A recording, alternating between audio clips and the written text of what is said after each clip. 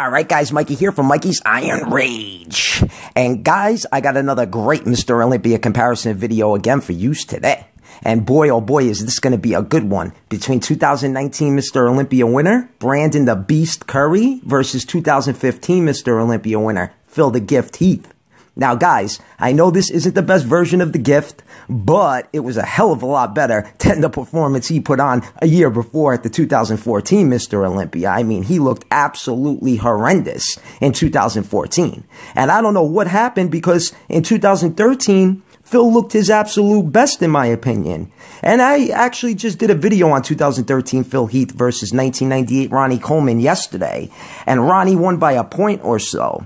But anyways, I got him going up against the beast Brandon Curry, who looked really good here at the 2019 Mr. Olympia, even though I still think he looked a little bit better at the 2019 Arnold Classic. But that's neither here or there, because we're going to put Phil up against the 2019 Mr. Olympia version of Brandon the Beast Curry. So guys, with that being said, let's just jump right into it. And so without any further ado, let's get it on.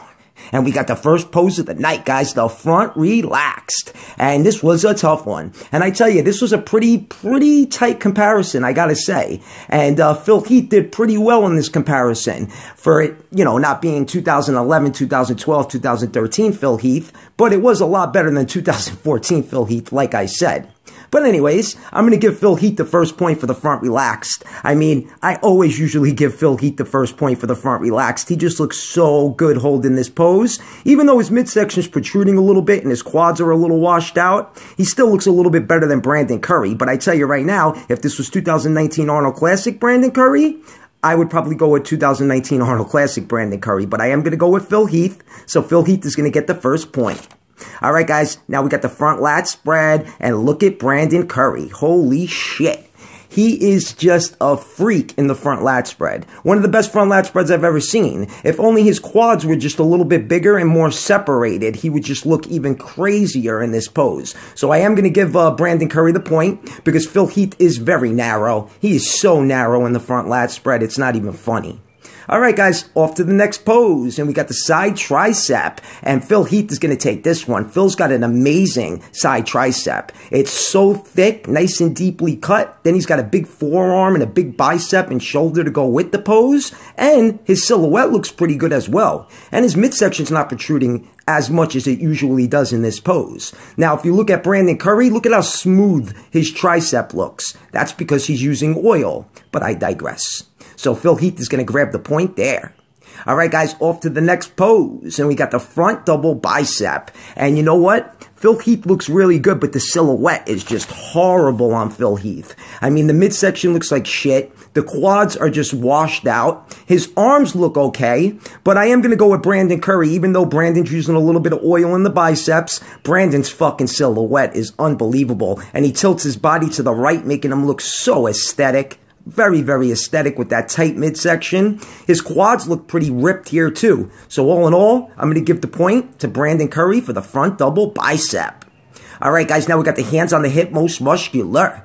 And this was a really tough one, actually. But I am going to go with Phil Heath because Phil Heath is a little drier. And Phil's abs are so diced compared to uh, Brandon Curry. Brandon Curry's abs are a little washed out, a little smooth compared to the Arnold Classic. So all in all, Phil Heath is going to get the point because Phil just looks drier. Phil does look really, really good in this pose. Now imagine his midsection was tighter, right guys?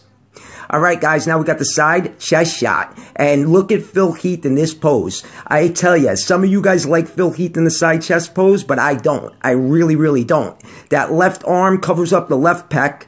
It makes the left pec look so much smaller. And Brandon Curry, he's got a fucking nice side chest. His side chest is popping way more than Phil Heath's side chest is popping. He's got nice striations to the chest, striations to the shoulders, arms, nice side sweep to the quads. So I'm going to give Brandon Curry the point for the side chest shot because Phil Heath is just very shallow in that pose as well.